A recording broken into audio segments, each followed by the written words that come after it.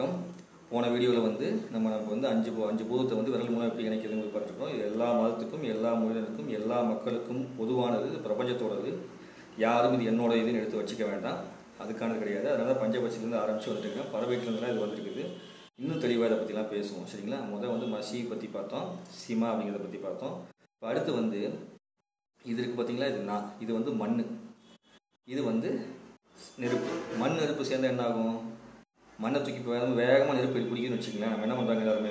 தண்ணி ஊற்ற கூட மண் அதிகமாக எடுத்து போடுறாங்க. அப்போ ஆட்டோமேட்டிக்காக நெருப்பு வந்து அப்படியே அமைங்கிடும் அந்த மண் வந்து கதகதம் சூடானதாக மாறிடும் இப்போ அந்த மாதிரி நம்ம சூடில் உடம்புல சூடு அதிகமாக இருக்கும்போது என்ன பண்ணலாம்னா இந்த மண் இதையும் கூட பிடிக்கலாம் இப்படி பிடிச்சாலும் நம்மளுடைய சூடு வந்து டக்குன்னு மட்டப்படும். ஆனால் மட்டப்பட்டுட்டு அது அடியில் வந்து ஒரு சூடு இருக்கிற மாதிரியே அந்த தீ கொஞ்சம் நேரத்துக்கு இருக்கும். ஏன்னா மண்ணை போட்டோம்னா மண் சூடாகும் இல்லை கனமான சூடு இருக்கும். நீரை போட்டோம்னா என்ன ஆகும்னா சல்லின அம்சம் ஒரு புகை மூலமாக வந்து காற்று மூலமாக காற்றா மாறி ஒரு மாதிரி அழுத்தமாக நீராக மாறி அங்கே தேங்கி நிற்கும் மண்ணை போடும்போது என்ன ஆகுதுன்னா நெருப்பு மண்ணை நெருப்பாக மாற்றி கொஞ்சம் கொஞ்சமாக அந்த மண் வந்து அப்படியே அமுத்தி தண்ணுக்குள்ளேயே வச்சு அடக்கி அழிச்சிடும்.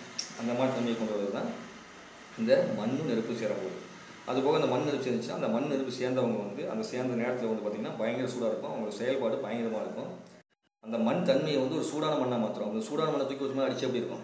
சாதாரண மண் எடுத்து அடித்தாலே பயங்கரமாக இருக்கும். சூடான மண் எடுத்து அடிச்சது அப்படின்னா எப்படி இருக்குன்னு பார்த்துக்கங்க அப்போ மண்ணை வந்து அடிக்கடி சூடுபடுத்தக்கூடியது எப்படி அப்படின்னு பார்த்தீங்கன்னா இந்த சி நான் அப்படிங்கிறது. அதே நேரத்தில் ஒன்று மண்ணை சூடப்படுத்துவோம் இன்னொன்று வந்து நெருப்பை வந்து அணைச்சிடுவோம் சரிங்களா?